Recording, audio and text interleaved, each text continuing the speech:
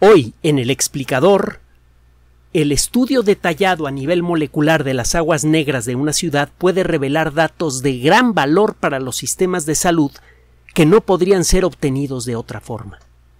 Además, y en exclusiva para nuestros patreones, las naves espaciales construidas en impresoras 3D ya son una realidad y podrían convertirse en una de las claves más importantes en la colonización del sistema solar.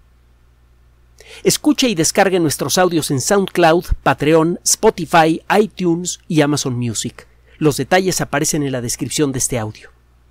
Gracias.